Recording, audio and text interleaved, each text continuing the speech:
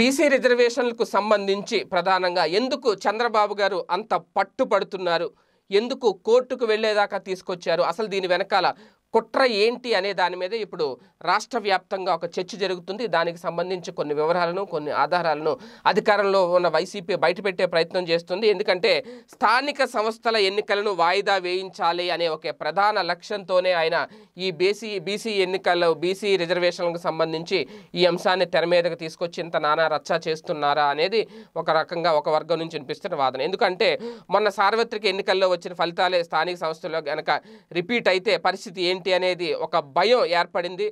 Telugu Desam party నేతల్లో అనేది. అదే టైంలో ఎలాగైనా స్థానిక సంస్థల ఎన్నికలను ఈసారైనా వాయిదా వేయించేస్తే గనక ఒక గండం గట్టెక్కుద్ది అనే ఆలోచనలో టీడీపీ ఉంది అనేది మరొక వర్గం వాదన అంటే వాళ్ళల్లో ఉన్న భయాన్ని బయట పెట్టకుండా ఏదో రాజ్యాంగం అని లేదంటే బీసీలకి అన్యాయం జరిగిపోతుంది న్యాయం జరగాలంటే సుప్రీంకోర్టుకి వెళ్ళాల్సిందే అని చెప్పి ఈ మాటలన్నీ తెర మీద తీసుకురావడం ఏదో బీసీల మీద ప్రేమ కురిపించేసి చంద్రబాబు గారు బీసీలకు సంబంధించి నిజంగా అంత ప్రేమ ఉంటే ఆయన తన మద్దతుదారుడు బిర్రు ప్రతాప్ రెడ్డితో రిజర్వేషన్లపై ప్రభుత్వానికి వ్యతిరేకంగా ఎందుకు కోర్టులో కేసు వేయించారు అనేది ఇప్పుడు ప్రధానంగా వినిపిస్తున్న ప్రశ్న. అక్కడ ఇక్కడ ఏంటి అంటే జగన్మోహన్ రెడ్డితో పిటిషనర్ దిగిన ఫోటోను పక్కన పెట్టుకుని కేసు వేసింది జగన్కు సన్నిహితుడు అనే ఒక ఏదో మసిపూసి మారేడికాయ చేసి ప్రజలను తప్పుదోవ పట్టించే ఉద్దేశంలో చంద్రబాబు గారు దాన్ని తెర మీదకు తీసుకొచ్చారు అనేది చాలా క్లియర్గా అర్థమవుతుంది. అయితే ఆ తన భయాన్ని బయట పెట్టకుండా ఏదో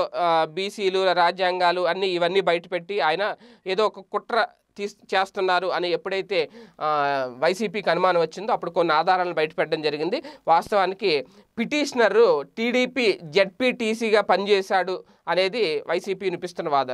పిటిషనరు టీడీపీ జెడ్పీటీసీగా పనిచేశాడని పంచాయతీరాజ్ ఛాంబర్ ఆఫ్ ప్రధాన కార్యదర్శిగా కూడా పనిచేశాడు.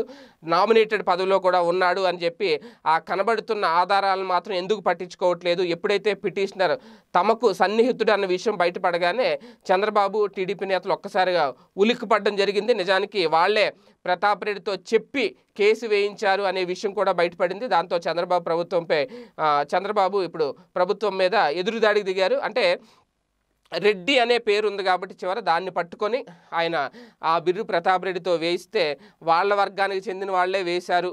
బీసీలకు న్యాయం చేయాలి అనే ఒక వాదన తెర మీద తీసుకొచ్చేసేయాలి అని చెప్పి ఒక అద్భుతమైన రాజకీయ కుట్రను పన్నేశారు చంద్రబాబు గారు అనేది చాలా స్పష్టంగా అర్థమవుతుంది అంటున్నారు వైసీపీ నేతలు. అయితే మొత్తానికి స్థానిక సంస్థల ఎన్నికలు జరగడం అనేది చంద్రబాబుకి ఇష్టం లేదని చాలా క్లియర్గా అర్థమైపోతుంది అంటున్నారు వైసీపీ శ్రేణులు. ఇదే టైంలో ప్రభుత్వాన్ని సుప్రీంకోర్టుకు వెళ్ళమని రెచ్చగొట్టడం ప్రభుత్వం కనుక సుప్రీంకోర్టుకు వెళితే ఎలాగా ఎన్నికల మీద స్టే వస్తుంది కాబట్టి దాంతో ఇప్పుడు ఎన్నికలు ఇంకా ఎప్పుడు జరుగుతాయో కూడా చెప్పలేని పరిస్థితి స్టే ఉంటే ఎన్నికలు నిర్వహించలేరు కాబట్టి చంద్రబాబు అనుకోకు కావాల్సింది ఇదే కాబట్టి లేకపోతే ఎన్నికలు కనుక జరిగితే వైసీపీ క్లీన్ స్వీప్ చేస్తే మళ్ళీ మొహం ఎక్కడ చూపించాలి ప్రజలకు తెలియని పరిస్థితిలో ఉంటారు అనే ఉద్దేశంతోనే సుప్రీంకోర్టుకు వెళ్ళండి అని చెప్పి రెచ్చగొడుతుంది తెలుగుదేశం పార్టీ. ఇదే అసలు కుట్ర అనేది ఇప్పుడు వైసీపీ శ్రేణులు బయటపెడుతున్న విషయం.